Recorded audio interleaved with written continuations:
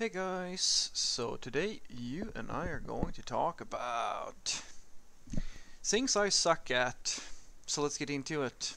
So the question in question was, Fredrik, I have a subscriber question.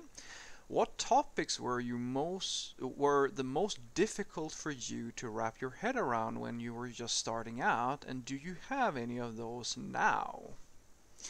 Well, I am very happy to see that even at my small little I don't even want to call it fame, but let's call it fame for the sake of argument. People can get fooled into believing that just because I have this pre-recorded video where I'm in complete control of the question and my answer and I can do everything I want, I can give you the illusion that I know everything. Now, imagine that I can do that uh, and I'd never actually prepare anything and I don't edit anything. Imagine what the people that you really look up to who uh, who do all that stuff can make you believe. Food for thought. So I'm gonna be completely transparent with you, and I will tell you immediately that the, if you've ever get got the idea that I am some type of all-knowing guru, I am the far the furthest thing from it. And there are still many, many topics within IT that I have zero skill in. Less than zero. I can't even help you. I, I mean, I could probably not even fake an answer on these topics. But let's walk through it. So, when I first started, I had an enormous amount of amounts of problems. Like there was, it's hard to just go through all of the different things that were complicated. Everything was complicated. Everything from uh, how uh, how to build web servers, how do you, like what does actually happen in the computer, to uh, threading and asynchronous programming. I think st I still think cryptography is still super super hard. Just explaining how an asymmetric key is going to work. As an example, you know what we use basically for all of our uh, TLS encryptions and things like that, certificates, like there's so much that you need to look up and I can't go through all of it so I'm just gonna go and take the thing that I thought probably stood out the most to me when I first started out and the thing that I thought was the most uh, complicated was to figure out how everything fit together. So it was very easy to get a tutorial on, say, HTML and kind of get, ah, okay, this is HTML, you write it this way. And the same thing went for CSS. Okay, CSS, alright, some style sheets, you add some rules, and you get some styles on your on your screen on your screen right away. these things are fairly simple, and then you kind of understood what a web server was and HTTP and so forth. But then like, fitting all of this together, that was the hard part, because at least I, I never really felt that I got a sensation of this is real. Okay, this is how it all fits together. This is how it works. This is that we like we had all of these pieces, but putting them together in the right way, I thought was enormously complicated. I had one case where. Uh, where I had we had built in school this simple little web application.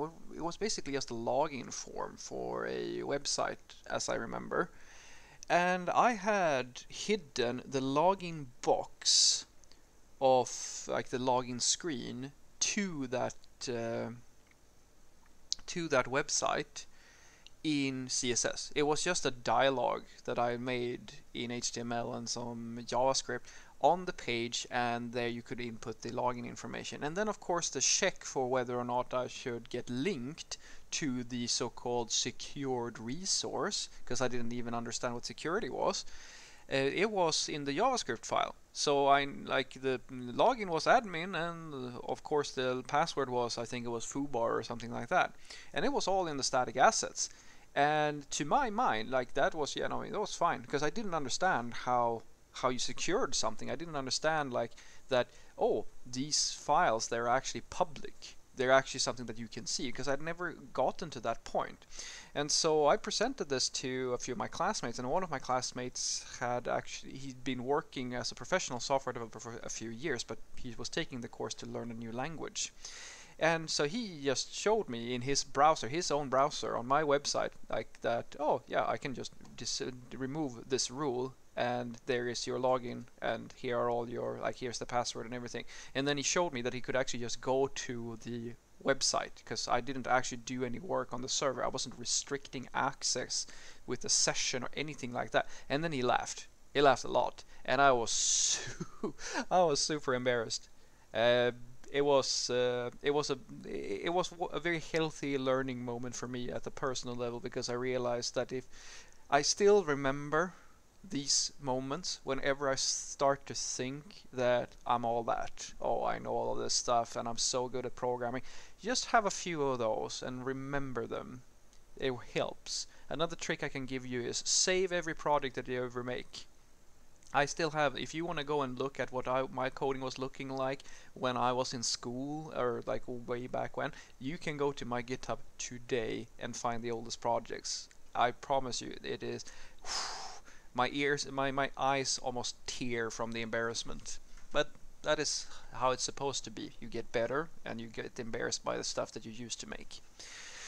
But if we talk about today, I still have things that I think is really, really complicated. Uh, I would say that you, like what I do now is that I spend a lot of my time because I've, I, have i have reached a point in like the normal stuff that I do every day where I feel very comfortable in the normal application development stuff and so forth. So I focus on the things that I'm not so good at, but at the same time, things that are going to help me become a more well-rounded software developer. Because my ultimate goal is, of course, at least for me, to become the uh, what I call the universal programmer. It's just the or call it the true full stack developer. I want to be able to do all the things that are associated in building products, regardless of practically what type of product that is. But as you can imagine, since I primarily do web work, it's almost all I do. I've done some mobile and stuff, stuff of that nature. I don't really have any experience in more in-depth topics. So what I spend a lot of time trying to figure out, which I think is, I mean, it's really hard for me is say system levels development. I still have not to this day gotten that really nice clear mental picture of how the how the the interfaces between hardware in the computer and the operating system like how does that actually work? How do you like the instructions that comes from the circuits and the pins on the uh, in the actual computer or like the processor and so forth? I mean i know what these things are but like to really get that gut level understanding i hope that makes sense to you? That you really go yeah this is a i mean i understand this stuff no problem.